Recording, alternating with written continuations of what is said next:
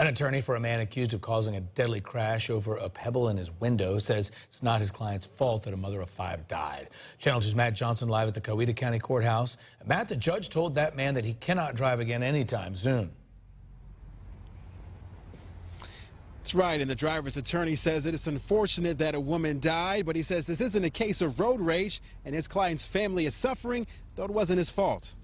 My client is a nice guy, is innocent until proven guilty. Juan Marquez is a father of six, accused of playing a role in the death of a mother of five.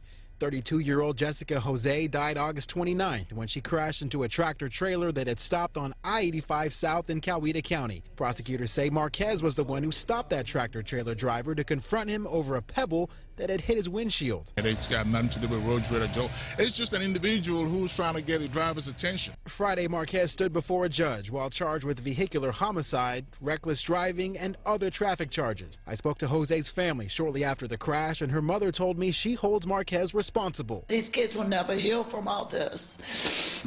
They will try, but they will never heal. And I hope you know this, and I hope you stay where you're at for a long time. Judge Robert Stokely granted a $25,000 bond, but ordered him not to drive, not even for work. Marquez's attorney tells me he's a real estate contractor who owns his own business, and being able to drive to job sites is how he provides. It's created a lot of hardship for him and his family. And Marquez can only leave the state for work-related projects. In the meantime, the community has raised nearly $6,000 for Jessica Jose's children as they try to move on without their mother. Live in Coweta County, Matt Johnson, Channel 2 Action News.